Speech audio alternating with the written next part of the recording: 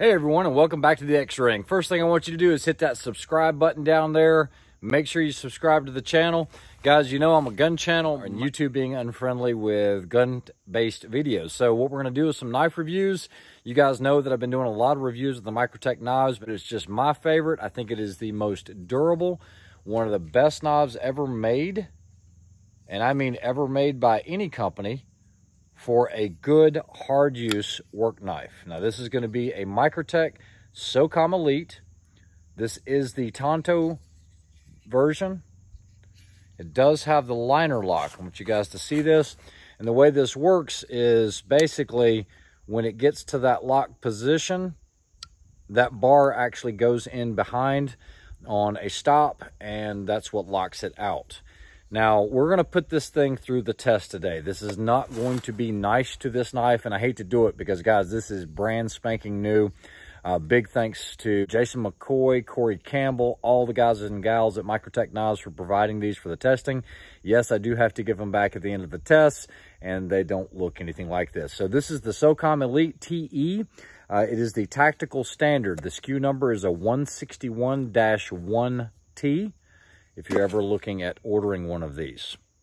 Now, guys, for a quick comparison, you guys that watch my channel or have been following my channel, you guys know that I've been carrying one of these for 19 years, going on almost 20 years. Um, this is an original knife, way before I even knew any of the folks at Microtech. Uh, they are the same size. The only thing they've really changed on it is They've changed the patterning of the material that they used on the inside. They no longer make this any longer. This is also an auto version. It's also partial serrated. This is not going to be a comparison with this knife, but I'm just showing you what a knife will look like after about 19 years of hard use. And what I mean by hard use knife, I don't consider this as a gentleman's knife. It, it has a little bit of weight to it. To do is I'm going to be realistic about the testing, okay? I'm going to do things like try to pry something or pry into a 2x4. Now, keep in mind, a knife is not a pry tool, but a lot of times we use it for that. I can't tell you how many times I've fired around or something and it lodged into a tree and I wanted to dig that bullet out, and here I am digging or prying into that tree. Also, let's talk about blade steels. Guys, you're going to sacrifice something. So you have your super steels. Guys, this uses the 204P. CTS, the Carpenter steel. 204 is very similar to M390. There's a lot of guys that say, oh, I like M390 better. Guys, M390 and 204P are almost identical in all properties. But when you're talking about knives and blade steel, what you're going to get what you pay for, okay? This is not AUS 8 or anything like that. Those might be easier to sharpen, but they won't hold edge long, okay? They're they're much easier to sharpen. This will take a little while to sharpen, but will hold the edge a lot longer. You also have hardness. You also have durability. All of these things play in, and you give and take a little bit. I do have a knife very similar to this one. Um, this is a SOG or a SOG, okay? Now, this one's called the Trident Tanto. This is not going to be a comparison between these two knives, but I'm going to run something that has AUS 8. It's an $80 knife as opposed to a $270 knife but I just want to put it through the paces just so you guys can see the differences. Maybe this one will come out on top. I don't know. I'm not going to favor any one particular knife. I'm going to put them through the same tests, but it is not a versus versus, okay? There are other knives to compare it to, but I had one that was similar in almost every way, shape, and form, except in price, blade steel, things like that. Okay, so Microtech SOCOM Elite. I just pulled this out of the house, so it hasn't had a chance to get too damp yet. This is from the factory. I've not touched it and we have no issues just slicing. And Microtech's always known for sharp knives. These Every knife that they make is hand sharpened by an individual, not a machine, but they are literally going in there with belts and they test all of these before they ever leave and you can bet you that they're going to have a scalpel sharp edge on them when they leave the factory. Okay, SOG from the factory. One of the things I can tell you is when you look at it, you can tell it just has straight grinds on it. This might be a machine sharpened. Uh, very doubtful it was done by hand.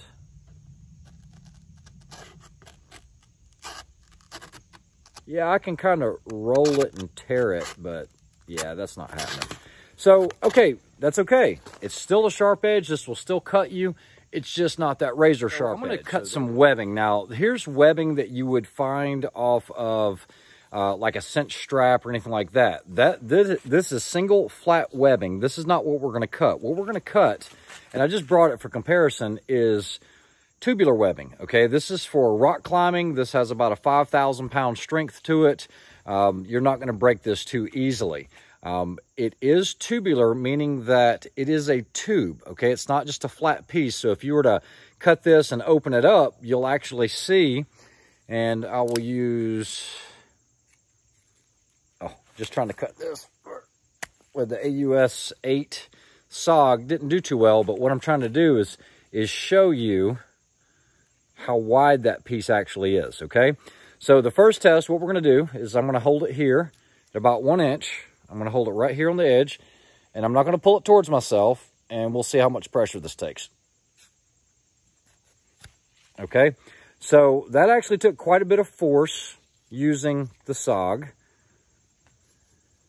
We already know it's not quite as sharp just because we tested it. Let's try it again. Let's see if we can get it one pull.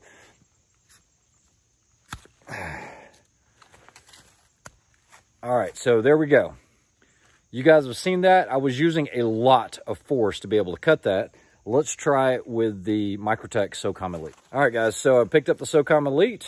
I folded it over just like I did on the other one. I'm gonna hold it right here. I'm just gonna pull it easy. Almost all the way through. That was all the way through. So right off the bat, I got to give it the sharpness and using a good quality blade steel, you're going to see that. Let's try it again. We'll do it the same way that we did the other one.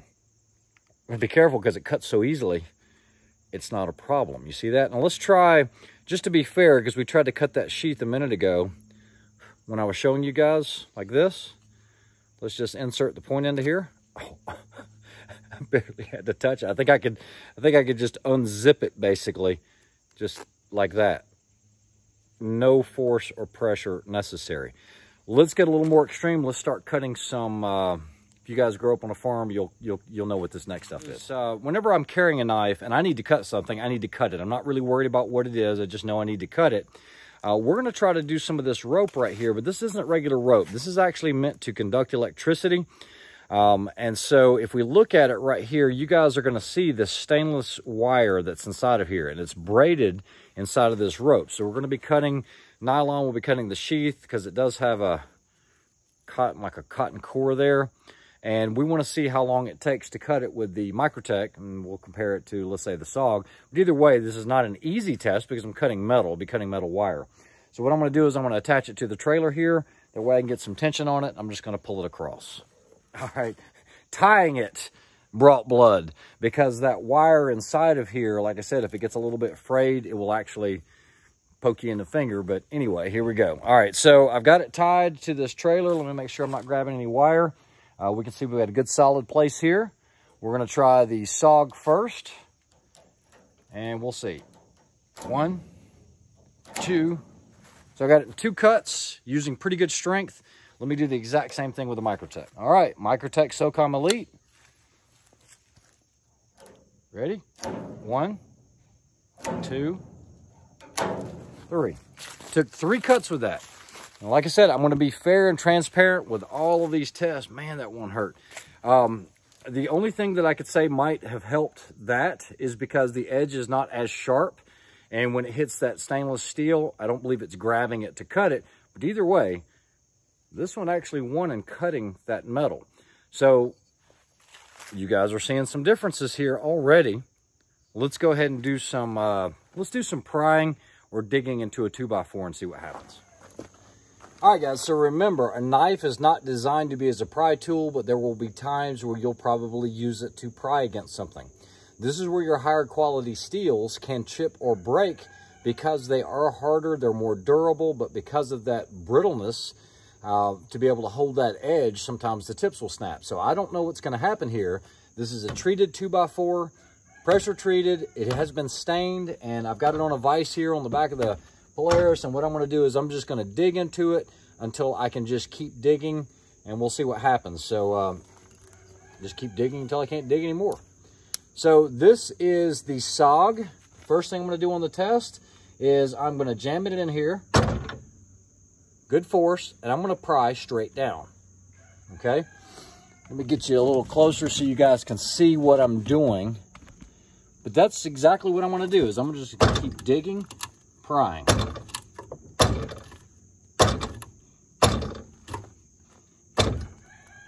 Okay, this right here is where something might break. I do have safety glasses on, and I do have cut-proof gloves. These are Kevlar on the inside.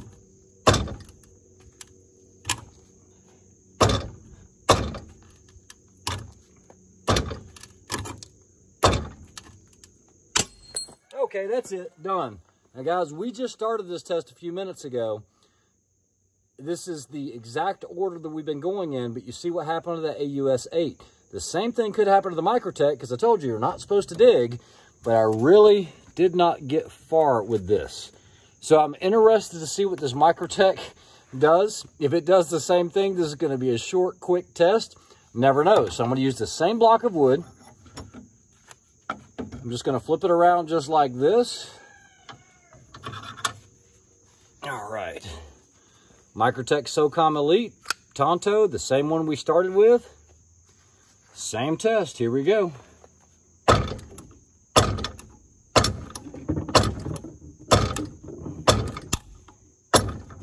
Oh, I do have a broken tip. You guys see that? So prying is not something you should do with these knives, but let's just keep doing it. Let's see what happens.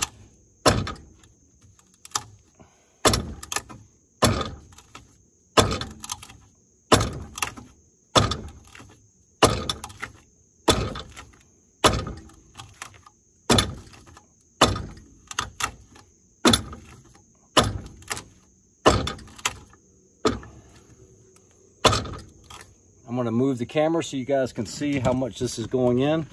Like I said, it just broke the tip of it. Still a usable functioning knife though.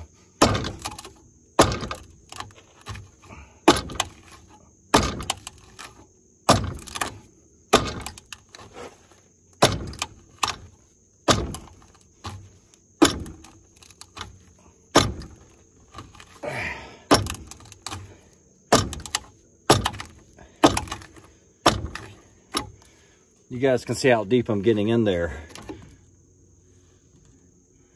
on the camera.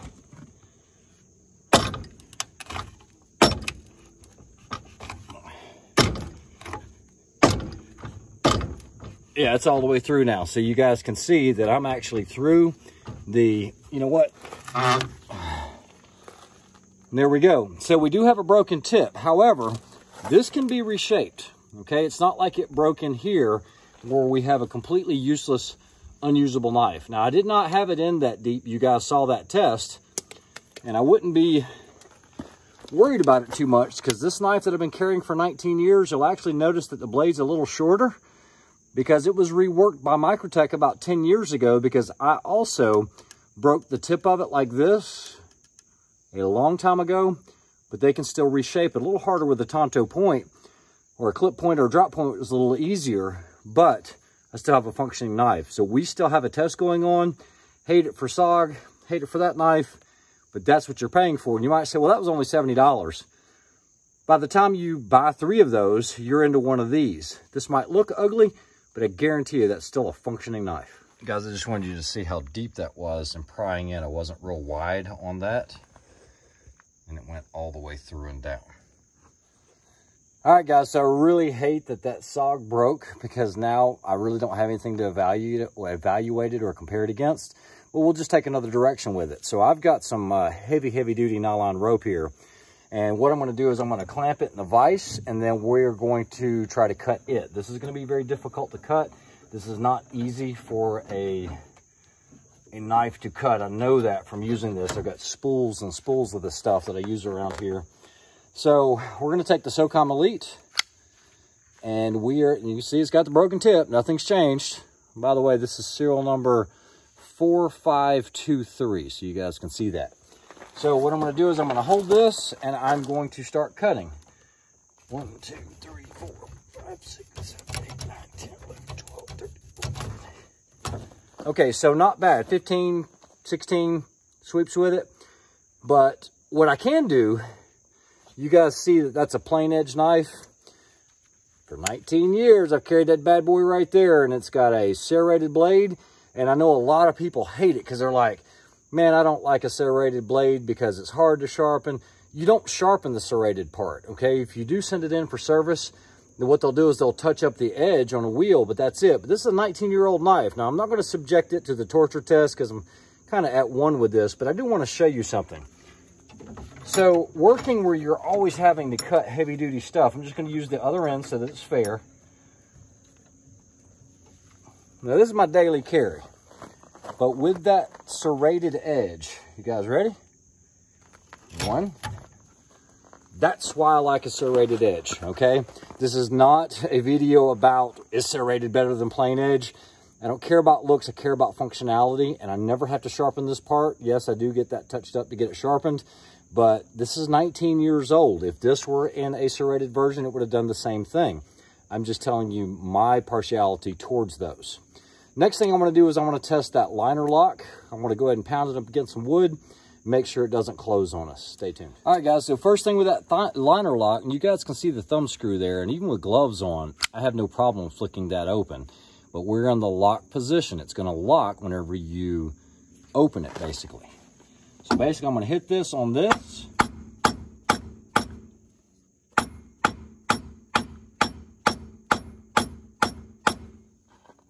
And you guys can see we're still good there. We hit it a couple times with the knife or the, the hammer.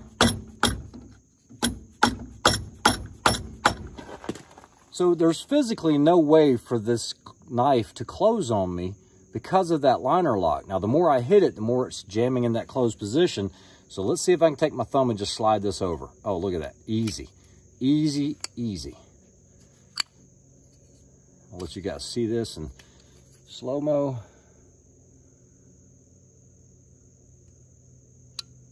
Just like that, and it's locked in place. You know what? We still have a piece of that, uh, that SOG knife. Let's see if it holds up.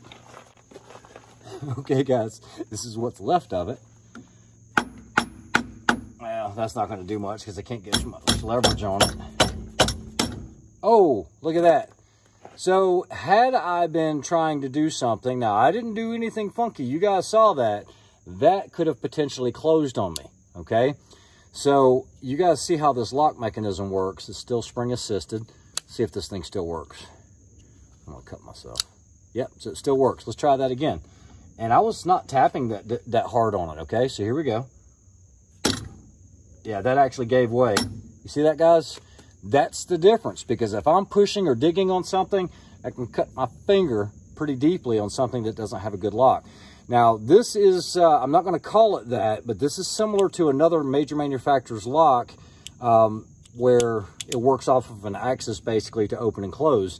Um, not a big fan of these. So $70, trip to the ER. Yeah, you're probably about $200 now, maybe 300 But uh, that's why I'm doing some of these tests is to show you you're getting what you pay for. Let's do some more tests. All right, guys, so with a couple of the other tests, I had some people say, why'd you run over it with a truck? Why'd you run over it with a mower? Um, there's times pocket knives come out of your pocket. They fall on the ground. You don't realize it. And if you're around heavy equipment or things like that, things happen. They get run over. So what I'm going to do is I'm going to take a tractor.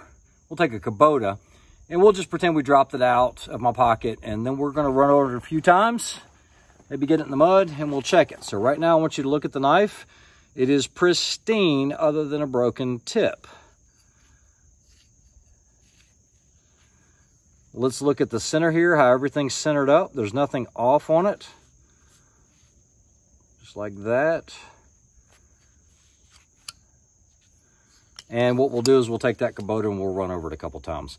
I've actually lost my knife a few times like that, carrying something uh, like lumber or sheet metal or anything like that. If you have a pocket clip and it is here and you're carrying it, sometimes when you go to lift it, you'll lift that knife straight out. I'm not worried about my knife because it's done it a million times, but just be cognizant of that. That's uh, something you got to watch out for or you lose your favorite knife. All right, guys, so we got a Kubota L-Series tractor here. And what I'm gonna do is I'm just gonna place it right here on the ground. It's kind of like hard clay. And there's that same knife, serial number 4523.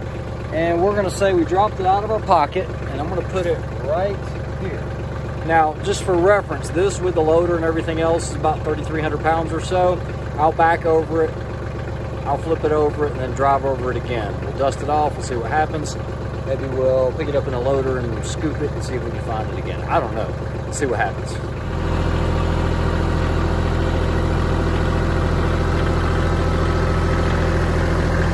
All right, we're gonna take it and just flip it over.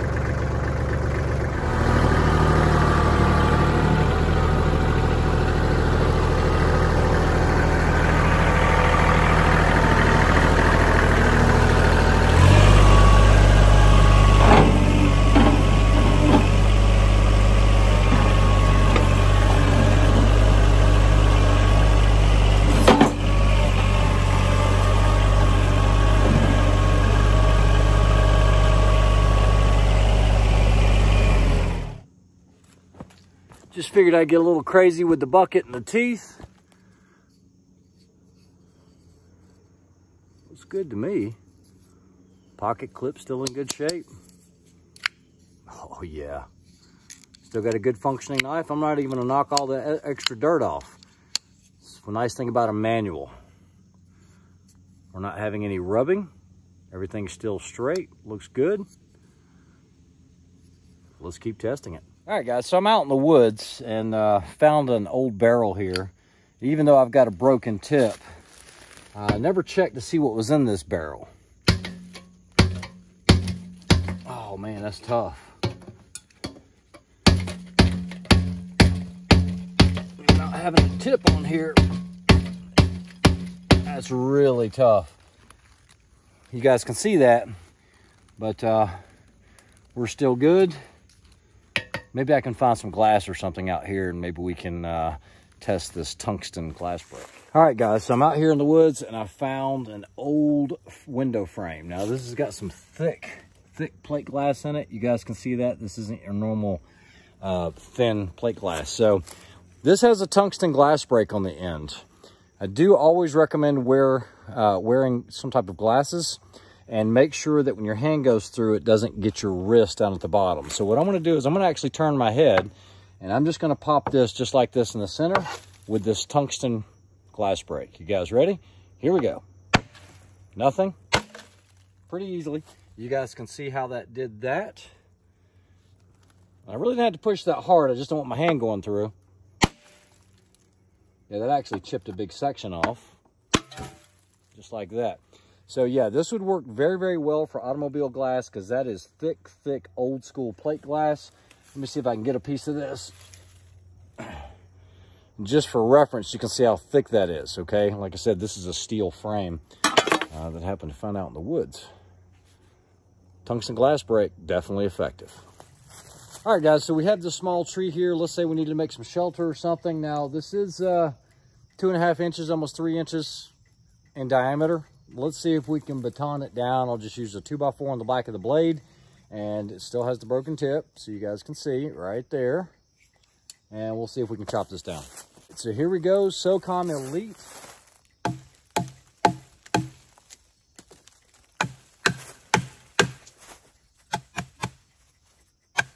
I'm gonna move the camera a little closer so you guys can get a, uh, a close-up of this and how we're doing this. Might get washed out, hopefully not.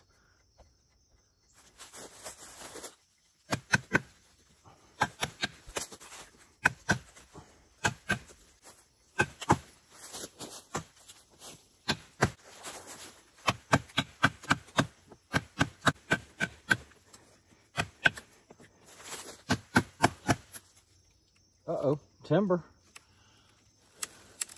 There she goes. All right, guys, so you can see all the way through and through. Knife still in good shape, no chipped edges.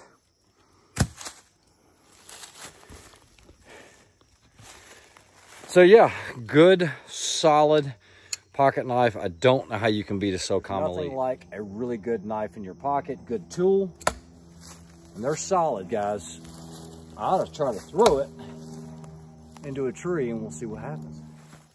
All right, guys, so you never want to throw your knife, right? Don't throw your weapon and get rid of it. Uh, but if you ever do practice throwing any knives or anything like that, the SOCOM Elite, 8 to 10 feet, just a slight flick, holding it towards the back.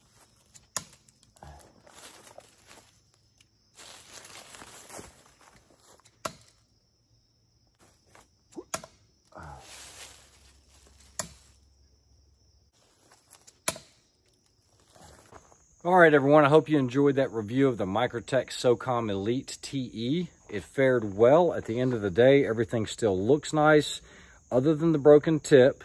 Does have some dirt on it. Have not washed it off. Now, in full disclosure, I don't carry a manual opener. I know some of you guys don't have that option in some of the states you're living in, but after all the testing today, there's something that I noticed, and that is the detent is a whole lot easier to open. It will still stay in place, but I can take it and just move it really quickly, like that. You see how it popped open? Uh, you guys might say that's a good thing. I don't know if that's a good thing. I also have a little bit of play left and right between the chassis and the blade. You guys see that? Just a little bit.